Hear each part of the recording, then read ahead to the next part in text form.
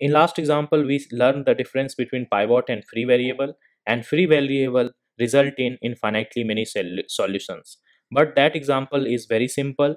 That is just single equation. Now we take a more general example. This example has three equations and four variables.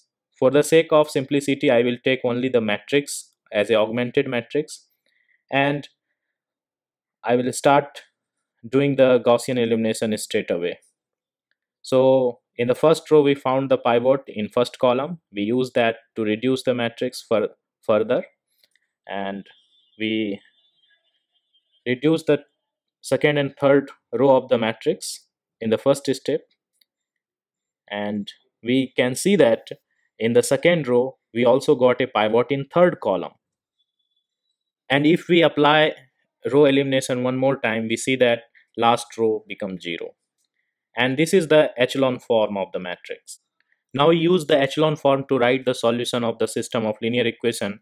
For that we have to convert it again in the form of system of linear equation. And we use the variable x y z and w.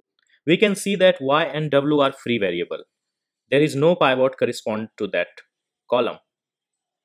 Now we can take any value for y and w. Start with w we take w equal to any number a then we can write from using the second equation z equal to 1 minus a. So we got the so two solutions w equal to a and z equal to 1 minus a. And since y is also free we can take y equal to some other number say b. And we can write the solution of x using first equation. And in this way we get x equal to 1 minus 3b minus 3 times 1 minus a plus 2a where ad is any real number.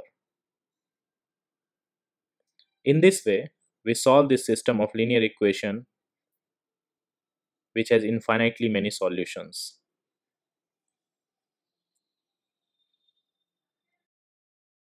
Now let's try to write the solution in vector form. For that, we will write the solution x, y, z, w in, in a row then the solution will look like this. Now observe the entries correspond to free variable. In the for in the particular solution, the free variables are 0, while in the corresponding homogeneous system of linear equation, solution of homogeneous linear equation x0, we can see that free variable taking 1, 0, 0, 1 value. Thank you for watching.